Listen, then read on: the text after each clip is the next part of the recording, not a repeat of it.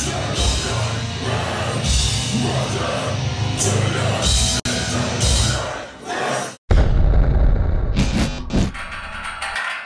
Jack Midlands Metalheads Radio, and I'm here with the boys from Chelsea Grin. Do you want to just introduce yourselves first? I'm Pablo and I play drums. I'm Tom, and I yell like a banshee. Good description, to be fair. So it's been a year since you guys were last in the UK. I mean, maybe not so much for you with Chelsea Grin. Yeah. but um, so how's it been so far? Like, especially just now the last day of UK UK leg. It's been incredible so far. I mean, everybody's been super receptive, and a lot of people are coming on having a good time. What do you think? Uh, yeah, I think everyone's having a real fun time. Um, it's definitely one of the. I mean, it's hard to say because it's only been a week, but so far it's been more successful than any headliner we've done uh, to date. So That's we're all always- very always good sign, excited. Always good sign. Yeah. So now you are in the UK. You've been here for about a week. Is there anything in the UK that you can get or like do you can't in the US that sort of you wish you could? Get authentic UK accents. Yeah, Yeah, yeah. The accent's I can imagine Nice that- treat. I imagine that's a harder thing to do in the US. to be honest, yeah. Yeah, everyone tries to do it, and everyone sounds like idiots. Uh, we like getting the real thing. Nice. Feels good. Well, we like the food. I would say the food. Kebabs. Kebabs. I live on kebab when I'm here. Yeah, all good. Nice every staple night. food. Kebabs every And the shopping is really good. You guys have the best shoe selection ever. So we, we go out and try to scout for cool shoes every day. when we get the chance. So, do you get much chance to do that? No.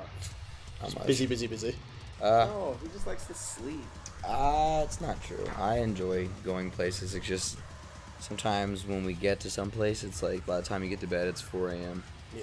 and then by the time you wake up it's like 12 so you're like like barely getting yourself to get up and then you're like here would you like to sleep another hour or would you like to get shoes and you're like i love both It's just, I'll sleep. and you like sleep for a little bit longer Yeah, that's fair, man, that's fair. Um, so, so you think the tour's gone pretty well then? Yeah, Definitely one of the best I'm very happy. Yeah. That's good. It's No always complaints, no complaints. I haven't seen the show today, so hopefully it's good, but every UK day has been insane. That's always good, man. That's good. Um, so, like, I know you've just finished doing the Warped Tour uh, back in the US. Now you've kind of you finished that. Like, how how was that entire experience? Especially now you can like reflect on it. It was incredible because we uh, we didn't know what to expect, you know, with the lineup change, and so as soon as we dropped uh, the Dead Rose video and announced Tom, you know, that was a big weight off our uh, off our shoulders. So we were really excited, but we were nervous to see how it was gonna go, you know, in front of people. So, but from the very first day, it was insane, and it was nothing short the rest of the tour. So, I I couldn't have asked for a better way to um, spend my last Warped Tour. It's good, man. That's good. That was Tom's first Warped Tour ever. That's that. Yeah. That's that good. was ridiculous it was a very good time very hot but a very good time It looked incredibly hot for the pictures. Too. it was dude Hey, thanks. Yeah. we work out a little me, bit right? Obviously. 100%. I need to. it's understandable Yeah. So, um, how does it differ playing shows like this in the UK, like uh, more intimate venues compared to that of Warped Tour? What are the crowd differences? Oh man, there's like no, there's no feeling like Warped Tour, um, because you play to a ridiculous amount of people every day, and for some reason, being out in the hot sun, it makes people just go extra hard and they're extra crazy. And not that people don't go crazy in the club, but there's just something about being outside where everyone is just sweating to loud music that just makes them go like the extra step to do some crazy shit. So the shows are just out of control. And I guess for us too, you know, only having to play a half hour and it's hot and you're sweaty and you're just like whatever. It- it- I don't know. Where I feel like I I'm inclined to have more fun in that setting, So and I kind of take it a little more serious when we are headlining in a club. And I'm like, okay, I can't get that drunk to play because I Yeah. gotta, you know, like on a Warped Tour, we we just hang out, hang out and have fun, and that like that's the main priority. Obviously, you still Yeah. you don't want to play bad, but I think it just being outside and in that environment just makes you go a little more crazy. How was it being your first Warped Tour then, as the uh, vocalist? overwhelming Yeah. because it just you know like I said a million times didn't still doesn't feel like my band you know so it's it's crazy to hear you know a band you know the band name being chanted like in Utah people freaked out and were so excited for them to play. It was just like it felt like a hometown show for me, Yeah. and I wasn't even from there, so it was just like really overwhelming, and it's still so fresh to me. But Warped Tour is definitely one of the the best experiences I'll ever I'll ever have and probably ever remember. Yeah. Shame we can't go to it now. You never know. Maybe, Maybe things one happen. day. Maybe one day it'll come back. Yeah. So now you're a four piece. How's that affected the dynamic of the band, like on stage, for example, or even just in the studio? in the studio it was kind of just you know le- less cooks in the kitchen so in Yeah. that sense it kind of made it easier to, to write and make decisions and i think on stage steven and david are really happy to have the extra room Yeah. but you know we we do miss jake and the band of course but he's enjoying his time at home having his little family and Yeah. you know and that's you can't be upset with someone for that you know so Obviously. we're we're very happy for him and um, yeah i just i think it's just less less people is just easier to deal with i guess Do you still get chance to um, see the old guys? Do you like hang out? yeah we all we all live in the in the same area so we try to get together when we can Everything going all right with them with the. Yeah. Know he's been accepted to medical school. and- yeah yeah dan's doing great Yeah. well he's stressed because you know it's medical Well, school yeah, it's not going to be easy, is it? Otherwise, all yeah but he's having a good time he really likes it jake uh, like i said he's at home being a dad and alex is just uh, working on taking care of himself Yeah. and uh, still releasing new music and stuff so That's good. yeah everyone's nice doing all It's good. Everyone's doing well. Yeah. yeah So, I said we can't really avoid the topic of the lineup change and stuff. So, how did you get involved with the band once like Alex had announced his departure and such?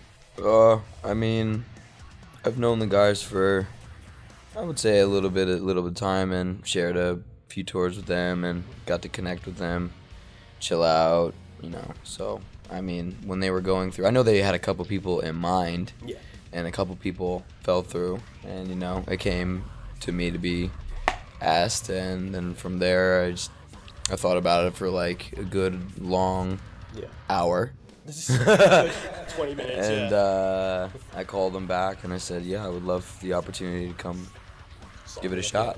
And here here we are on this on this casting couch, giving giving you the all, you know. I do appreciate it.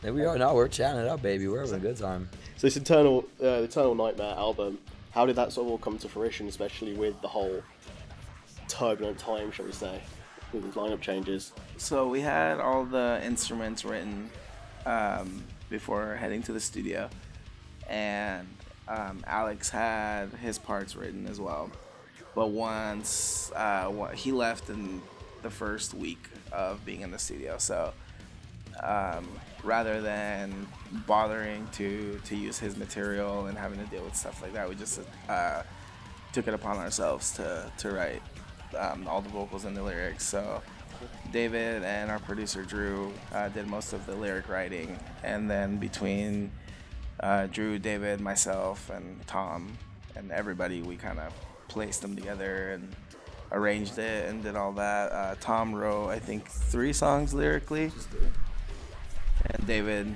did about the rest. So, I mean, it was it was stressful for about a week where we had no singer and no idea who was gonna be the singer or what we were gonna do. Yeah. But once uh, once Tom got in and we kind of caught rhythm with with uh, working with him and with Drew, it was awesome and easy and it became Eternal Nightmare. Crunch time. Towards the end, though, dude, that shit was stressful. Yeah. So stressful. Did you find like it um, the adjustment hard joining Chelsea Grin? No, Um, because I love them. They're great like- guys, you know. So it would be different if I was going into a new job where I didn't like the workers that my new establishment. I went to the new job knowing all No, the guys and knowing that they're great dudes.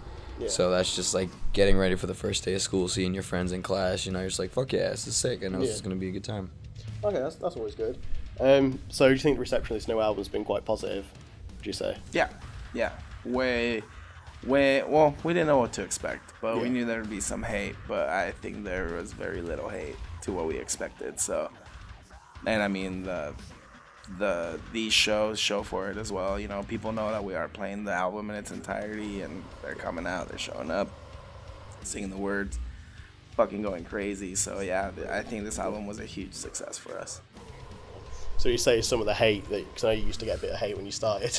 Yeah. Do you reckon that slowed right down now? As it like, Yeah, it definitely stopped. I, vibes? you know, there's some random kids that will that will always be a diehard Alex fan, and that's th- you're always gonna get trolls. And, I mean, that's okay. yeah. You know, at that point, you know, at first it was a little overwhelming because I wasn't used to so much negativity in my life. Don't get me wrong, Yeah. there's negativity in my life, but that's it was just so constant, so on the daily that I wish that I could say something, but I don't because I don't want them to know that it would affect me. Yeah. So I would just either a not go on my Instagram for weeks at a time, or b just leave it on red. You know, what's worse than being let on red, left yeah. on red? That's even worse than It's blind, worse. Yeah. It's like I, I see that you wrote something and I still care enough to say anything back. That's You know what I'm saying? Got a mature way to deal with that. Oh, dude, if I could have, Yeah. if I could have, I would have said some shit. Right. What was some, what were some of the worst things that you've been said?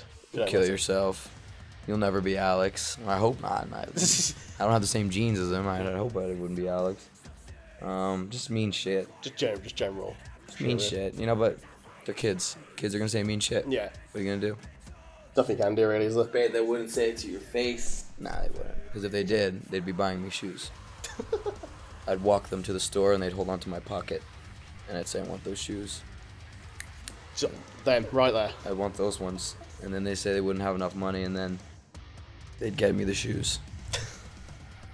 and then we'd get Pablo up there. Yeah, what he's even talking about Pablo up there and shit stuff. All I know is you guys love your shoes. Jailhouse rules. Hold my pocket. I'm daddy. Stop it. I've been to jail. Have you? No. That's, gonna, that's like that, that's new to me. That one. I've Like, watched. I've watched a- enough uh, prison documentaries though, and I know not to drop the soap. Yeah, no one wants to drop the soap. Thomas. All right. I mean, you can drop it if you want to. Yeah. Like, yeah, I mean, yeah. we're not gonna stop Depends stop on you. the kind of mood you're in. Exactly, man. So, I'd say sort of finally, as you probably did expect me to ask, what's next for Chelsea Grin? Where are we going from here? Um, Belgium. Okay, yeah. yeah, yeah. Yeah, we got That's a lot more specific.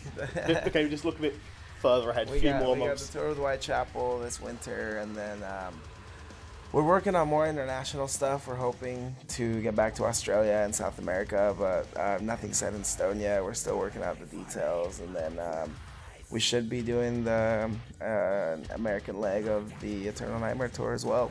Yeah. Um, nothing set in stone at all. We're just Just take it as it comes. taking it. Yeah, yeah. That's fair.